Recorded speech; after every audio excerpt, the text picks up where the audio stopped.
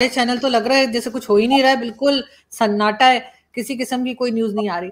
तो मैंने फिर इंडियन चैनल ही लगा लिया, फिर मैंने वहाँ से देखा तो उन्होंने जो थोड़ी बहुत बातचीत की है, उसमें ये भी कहा है कि क्रॉस बॉर्डर टेररिज्म के ऊपर काम किया जाएगा, दोनों कंट्रीज़ मिलकर और टेक्नोलॉजी के ऊपर भी उन्होंने कहा कि अमेरिका के साथ मिलकर काम किया जाएगा।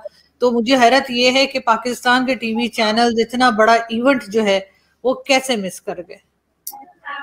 देखिए, मैं अगले टॉपिक पे आपसे बात बल्कि इसी पे करना चाहूँगा, इसी के उसको साथ रिलेट करूँगा, जो मेरी आज की कल से परसों से खबर चल रही है कि कायदे आज़म यूनिवर्सिटी में जो होली की एक तकरीब थी, जब उसके ऊपर इतना रिएक्शन है, आपने देखा है जिस तरह नफरतें हैं, बल्कि मैं वो भी बताना चाहूँगा क्यों है।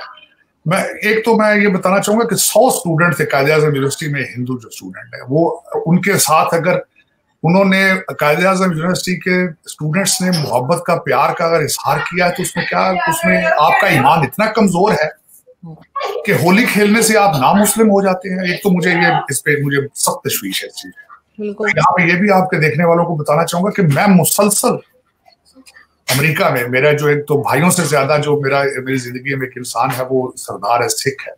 उसकी वजह से बल्कि मैंने सिखी के बारे में बहुत पढ़ा है। आजकल मैं बुद्धिज्म के ऊपर बहुत ज़्यादा पढ़ रहा हूँ आजकल। मैं टाओइज्म के बारे में पढ़ रहा हूँ। मैं बल्कि बुद्ध तिब्बतन बुद्ध उन, उनको भी पढ़ रहा हूँ जो मंक्स हैं और उसके बाद जो बर्मीज मंक हैं उनके इनसे पढ़ने से या किसी दोस्त के साथ मंत्र गुरुद्वारे चर्च में जाने से आपका ईमान कमज़ोर हो जाता है। बजाय किसी दोस्त की खुशी में शरीक होना। हम्म। तो उसके बाद लेकिन ये हुआ क्यों है? आरज़ू ये बताना होगा ना मेरे जैसा बंदा जो कि मैं समझता हूँ कि स्टूडेंट है पोलिटिकल साइंस का एंथ्रोपोलॉजी का करंट अफेयर का वो सोचता ये है कि the most popular handsome man जिसकी खूबसूरती की वजह से आपने उसकी हैंडसमनेस की वजह से आपने उसको अमीरुल मोमिनीन बना लिया है वो हर स्पीच के कुछ का आगाज़ करता है अय्या का नाब दू अय्या का नस्ता। उसका रिज़ल्ट क्या होगा? जब उसको आपके आपके आपकी एजेंसियों ने जब उसको बताया था कि मौलाना रिजवी जो है, उनके वोट बैंक के ऊपर डाका मारो और नए पाकिस्तान का हाथ छोड़कर रियासत मदीना को अडॉप्ट करो, फिर उसका रिज़ल्ट क्या निकलेगा? वो निकला, फिर उसका रिज़ल्ट निकल रहा है। और मेरे मेरे जैसे लोगों की एक यही अलमियात है कि पहले ये एक, इसकी एक डोज हमें जनरल जयाउल हक साहब ने दी थी। चले, उसके पीछे तो डॉलर थे। भाई, मुजाहिदीन के बनाने थे। रशिया को लड़ना था वहाँ पे भेजना था। बच्चे माओ के बच्चे मरवाने थे डॉलर बनाने थे। अमेरिका से वो तो बन गए। हम्म। इसके बाद मुझे ये समझ नहीं आती कि ये जो हमारे अब के अमीरुल मोमिनीन है इनको क्या ज़रूरत पड़ गई है कि हर बात में ये कहते हैं ये सियासत नहीं जिहाद है। ज़रूरत है आपको जिहाद की? चले ठीक है जिहाद करो गुर्बत के खिलाफ करो ना जिहाद यार। जहलीत के खिलाफ जिहाद करो। जो पढ़ने नहीं दे रहे हो बच्चों को। अगर कोई पढ़ा लिखा बच्चा होता अगर आपकी कौम आपकी कौम आज तालीम याफ्ता होती तो ये जो कायदा जो होली के ऊपर आपने बैन लगाया ये करते ही। सर नोटिफिकेशन दिया इन्होंने वापस ले लिया वो नोटिफिकेशन लेकिन जो डैमेजेस होने थे वो तो हो गए। लोग उस बात का मज़ाक ही उड़ा रहे हैं। मुझे दुख है अफसोस है इस बात का क्योंकि ये माइंड सेट रीड करता है। हम्म। आज अगले यहाँ पे बनाते हैं वो कहते हैं कि हमने टैलेंट अमेरिका के अंदर हमने टैलेंट बच्चे भेजने या पढ़ाने हैं। इस वक्त आपका ढाई लाख भारतीय स्टूडेंट हर साल आता पड़ता है यहाँ और आप उसके दूसरी तरफ़ हैं कि आप उनको कहते हो ये सियासत नहीं जिहाद है और जिहाद करिए। कैसे लोग हो यार? अब तो सऊदी अरेबिया भी बॉलीवुड पे चला गया यार। जहाँ पे दुनिया बुरके पहनती थी जहाँ खातू औरत जो है गाड़ी नहीं चला सकती थी हम्म। वहाँ पे वो बॉलीवुड के जलसे करा रहे हैं वहाँ पे और आप लोग कर वर्ष गेर है। नहीं तो समझ से बाहर सर आपने देखा इस्लामाबाद में जो सर दो दिन पहले तमाशा चला था ये लाल मस्जिद वालों का? किस तरह से वहाँ की औरतें निकली थी डंडे लेके और कह रही हैं कि जी तुम लोग भूल गए हो सुसाइड बॉम्बर्स को। एक भी आ गया तो दिमाग सही हो जाएगा। सर ये भी तो स्टेब्लिशमेंट के ही बनाए हुए लोग हैं। काबू क्यों नहीं आते? हर बात ही स्टेब्लिशमेंट की यार मैं अब क्या करूँ? मैं मैं अगर दो लफ्जों में सारी आपको हिस्ट्री बता दूँ तो 1947 से लेकर 1957 तक आपने सात प्राइम मिनिस्टर चेंज किए। उसके अठावन के बाद आप अयूब खान साहब ने आपका डिफेंस हाउसिंग सोसाइटी की बुनियाद रख ली और आज तक आप फिर उसी में घूम रहे हैं। लेकिन ये कि मुझे समझ इस बात की नहीं आई कि आप जो कुछ भी है आपको इस, इस सारे जो इस, इस मझधार में से निकालेगा कौन? इन सारे क्राइसिस में से कौन निकालेगा आपको? ये एक लम्हा फ़िक्र गया है इस वक्त। परेशानी का बायस है ना सिर्फ़ मेरे लिए बल्कि पूरी दुनिया के लिए। और और ये रेडिकलाइजेशन अच्छा एक मैं, मेरे, मैं ये भी, मेरे भाई हैं, इनको मैं बताऊँ एक्सट्रीम आप हर चीज़ की अच्छी नहीं होती। पानी, आप, दो जग पानी के पी लें, फिर भी वो भी खतरनाक हो जाते हैं। तो आप हर चीज़ की इतनी एक्सट्रीम पर क्यों जाते हैं? ये कौन, ये किसकी अथॉरिटी आप क्यों अपने मज़हब को और अपने ख्याल को पूरी दुनिया के ऊपर आप समझते हैं कि हम ही ठीक है? दूसरा दूसरा दुनिया का हर बंदा गलत है, ये गलत ये सोच इट सेल्फ इज़ रॉन्ग मेरे, मेरी नज़र में। ये कभी नहीं सोचना चाहिए कि मैं ही हमेशा ठीक हूँ। दूसरों को भी ज़िंदा रहने का हक है। दूसरों को भी अपने अपने ख्याल अपने मज़हब के ऊपर अमल करने का उतना ही हक है जितना आपको है। ये इसको मैं हमेशा एक और बात बताना चाहूँगा। मेरे एक अज़ीज़ थे, रिश्तेदार थे यहाँ पे। उन्होंने आके masters in theology from Columbia University में की थी। और वो हमेशा ये कहते थे कि ऑर्गेनाइज रिलीजन ने अभी तक तो फ़िलहाल दुनिया में कुछ भी नहीं अच्छा किया। स्वाइट डिवीज़न की डिवाइड कर देता है। रिलीजन को एक स्पिरिचुअल एपिटाइट की हद तक ही रखा करो इसकी एक्सट्रीम पर ना जाएगा गलत बात। गलत बात। बिल्कुल ऐसा ही है। Sir prime minister Shahbaz Sharif साहब पेरिस गए हुए वहाँ उन्होंने जो तकरीर की है उसमें उन्होंने कहा कि जंग के लिए तो पैसे हैं दुनिया के पास पाकिस्तान को देने के लिए नहीं है। उस पर भी लोग हैरान हो रहे हैं। नहीं पाकिस्तान को तो दुनिया दे दे के थक चुकी है। आपके मोहल्लात जो है दुबई और प्लाजे और आपके इंग्लैंड में आपने फ्री में ले लिए क्या ख्याल आपका? दुनिया तो देती है आपको। दुनिया तो दे दे के थक चुकी है। दुनिया बैंक हो चुकी है आपको पैसे दे दे। लेकिन आप पैसे रखे भी तो सही पाकिस्तान में। मैंने अगले दिन मैंने शायद आपको नहीं मेंशन किया। मैंने एक टेक्स्ट किया था कि चौदह मील के अंदर इनकी हुकूमत है हमारे मियाँ साहब की हाँ। शबाज साहब। हाँ। चौदह मील के अंदर। नब्बे हज़ार गाड़ी है इनकी फेडरल गवर्नमेंट पचास अरब रुपए का ये सालाना तेल जलाते हैं। ढाई अरब रुपया हमारे आ, मिस्टर जो वज़ीर आज़म इन ट्रेनिंग है उन्होंने ढाई अरब रुपया खर्चा किया है ट्रेनिंग टूर्स के ऊपर। तो आप कहते हैं कि आप बैंक होने वाले हैं? मैं अगले दिन मैं, मैं मैंने अगले दिन आर्टिकल पढ़ा है कि आपके चेयरमैन सेनेट ने अपने आप को जो मराद दी है और जो। आप बारह मुलाजमीन फॉर लाइफ तो बिल्कुल। लोग हैं। कैसी बात सर उस बहुत एतराज़ हो रहा है। सर उसके ऊपर काफ़ी एतराज़ किया जा रहा है। एतराज़ तो हर चीज़ पे होता है आजू लेकिन उस कभी इम्प्लीमेंट हाँ। भी कोई चीज़ हुई? सरकारी जहाजों को लेके ऐसे घूमते हैं जिस तरह ऊपर पे फिरते हैं।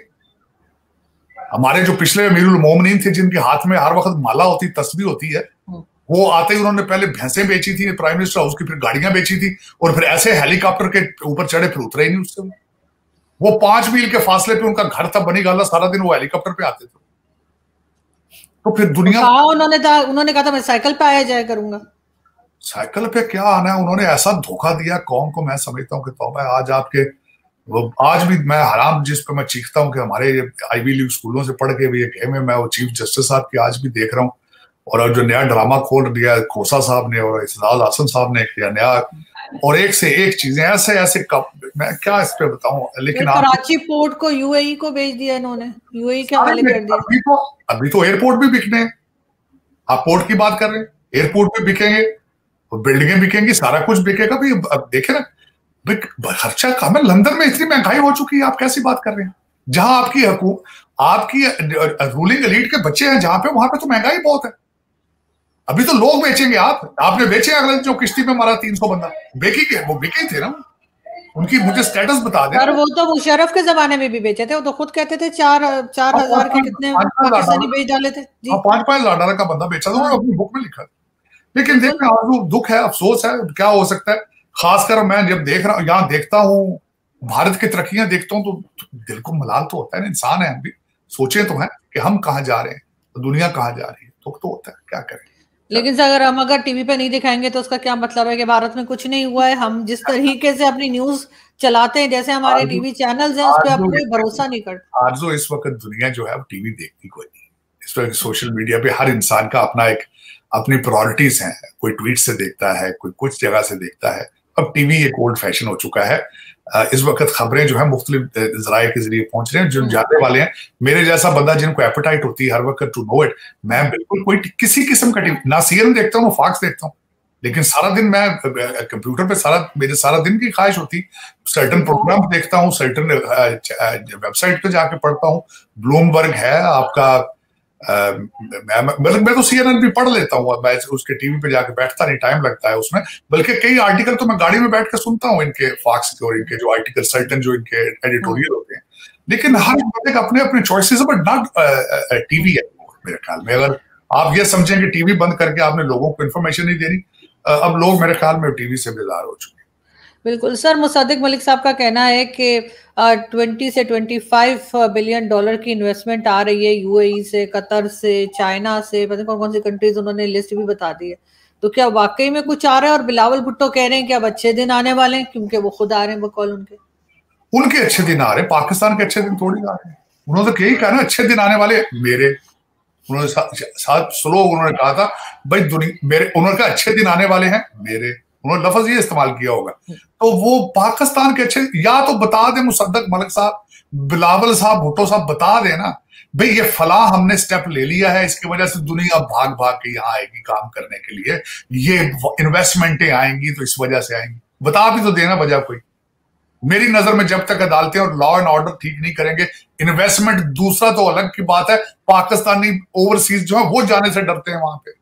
मेरे जैसा बंदा यहाँ से चढ़ता है एंटी डिप्रेसिड खाता है पहले कि पता नहीं मैं जा रहा हूँ लैंड अनप्रडिक्टेबल है पता नहीं कौन उठा के ले जाए क्या पता क्या होना मेरे साथ। तो ये तो एक है एक हाँ ये ज़रूर है ये जिस तरह की बातें कर रहे हैं आप कि अब अच्छे दिन आ गए कौम के अच्छे दिन। यही तो पिछले अमीरुल मोमिन भी कहते हैं हर बंदे कहता है। एक कुछ अल्फाज इन्होंने सियासी बना कहते हमें खजाना खाली मिला था। ये तो सभी कहते हैं सर। कोई तो ऐसा नहीं आया मिला। सियासी होते हैं बहामी बहामी बामी तलकात के ऊपर हमने डिस्कशन की। आ, अब खतरा टल चुका है। अब मुल्क नाजक मोड़ से गुजर रहा है। अब हम तकदीर बदल देंगे। हम कानून किसी को हाथ में नहीं लेने देंगे। ये सारे तो एक सियासी किस्म के बयान हैं। इसी तरह वो मलक साहब को भी पूछा होगा काफ़ी अरसा हो गया सर आप टीवी पे नहीं आए? तो उन्होंने कह दिया होगा यार सारा कुछ आ रहा है। दुबई भी आ गया सऊदी अरेबिया भी आ गया ये भी आ गया। भाई क्यों आएगा भाई? ये भी तो बता दो रीजन यार। सर इसाक डार साहब ने जर्नलिस्ट को थप्पड़ जड़ दिया। उसने सवाल पूछे मेरे ख्याल में थोड़ा सा उन्होंने बोले, थप्पड़ तो तक तो नहीं गए मेरे ख्याल में। उन्होंने यही कहा था, यार, मेरी जान छोड़ दो, मैं बहुत परेशान हूँ। मैं, सर में दर्द है, पैसा डॉलर है नहीं। मैं तो आया था भाई लंदन से बड़ी उम्मीदें लेकर, यहाँ आपके पास कुछ भी नहीं है। तो वो घबराए हुए जरा लग रहे थे मुझे। जर्नलिस्ट का दावा है सर ये पता नहीं वीडियो नहीं आई। कह रहे नहीं मुझे थप्पड़ मारा। लेकिन मुझे क्योंकि मैंने वीडियो दो तीन दफ़ा रिवाइंड करके देखी मुझे लगा नहीं कि उन्होंने थप्पड़ मारा क्योंकि आसपास काफ़ी और लोग भी थे। लेकिन खैर कुछ भी हो सकता है मैंने आपको बताया कि उस मुल्क में रहना एक तो फुल टाइम जॉब है और उस मुल्क में कुछ भी हो सकता है इसमें कोई शक नहीं है। थप्पड़ जूते मूते मारना ये सब तो मामूल का हिस्सा है ना ये। तो। बिल्कुल ऐसा ही है। लेकिन सर आखिर में हमें एक अफसोसनाक वाक्य भी हुआ है जिसमें कुछ लोग टाइटैनिक देखने के शौक में समंदर के नीचे गए थे और उन, उनका अभी अनाउंस कर दिया गया है कि जी डेथ हो गई है और नहीं वापस उसमें कल मैं है तो अफसोसनाक खबर है इस पर मज़ाक तो नहीं उड़ाना चाहिए लेकिन कल यहाँ हाँ। किसी ने कॉमेडियन ने कहा था कि दुनिया के अमीर लोग समुद्र के नीचे जाके देखना चाहते थे कि पुराने जमाने के अमीर लोग कैसे मरे थे।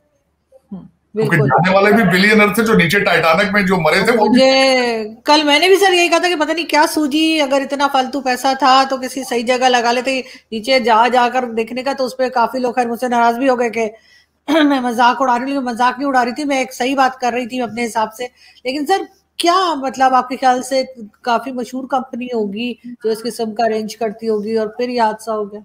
देखें आरसू जब जहाज़ करते हैं, वो भी तो बड़ी बड़ी अच्छी कंपनियों के होते हैं, बस चीज़ें मेल फ़ंक्शन मशीन का क्या पता कब मेल फ़ंक्शन कर जाए उनके, उसके अंदर मैंने जो देखा, मेरे ख्याल में they had about 90 hours oxygen in there लेकिन कहीं से लीक होगी होगी। आज आ गई यहाँ पे खबर कि उसको स्ट्रोक के ऑक्सीजन उसमें शॉर्टेज थी। लेकिन देखें आरज़ू जब भी आप मशीन पे